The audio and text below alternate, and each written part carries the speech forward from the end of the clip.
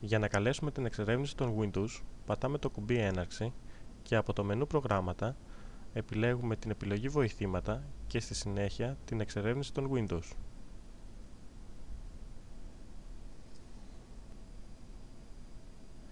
Κάνοντας κλικ στο φάκελο υπολογιστής μου, επιλέγουμε τη δισκέτα Α.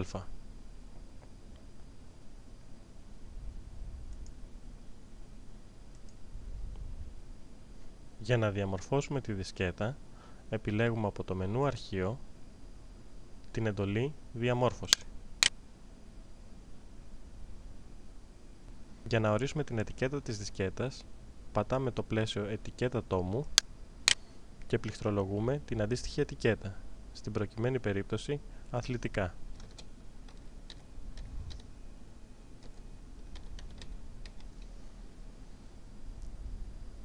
Για να ξεκινήσει η διαμόρφωση της δισκέτας, πατάμε το κουμπί «Εκκίνηση». Αυτόματα εμφανίζεται ένα μήνυμα ότι όλα τα δεδομένα τα οποία υπάρχουν στη δισκέτα με τη διαμόρφωση θα χαθούν. Επιβεβαιώνουμε το μήνυμα πατώντας το κουμπί «OK».